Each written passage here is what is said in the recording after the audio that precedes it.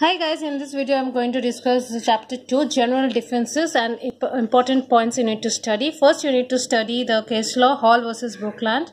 Then the Padmavati versus Dugganaika, Wooldridge versus Sumner, Thomas versus Quartermaine, Ilott versus Wilkes, Lakshmi Rajan versus Malar Hospital Limited, Dann versus Hamilton.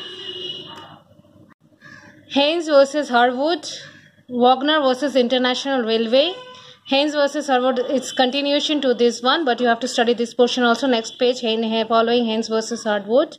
Then come to the uh, topic volenti non fit injuria and contributory negligence distinguished. Read this whole.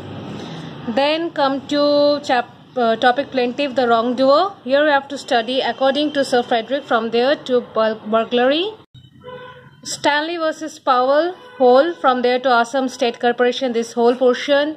Uh, Siddharth Tiwari versus UP, this one whole.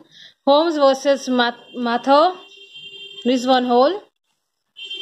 Brown versus Kendall, Padmavati versus Dugganaika is important. This whole, this whole from this paragraph to the next paragraph to the ending, till by the accident, caused by the accident.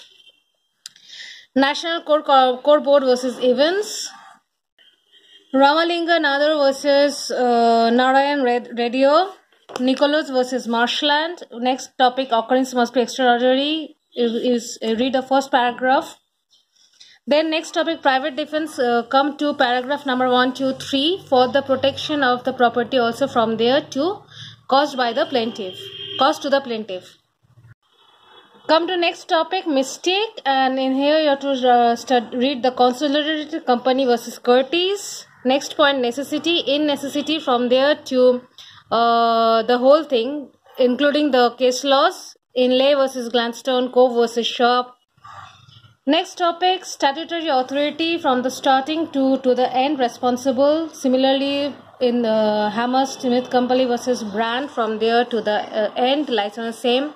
Next case law Smith versus london southwestern company whole. Now next come to the next topic absolute and conditional authority. From we have to read the first paragraph whole. This statute from there to cost or not. That's it for chapter general defenses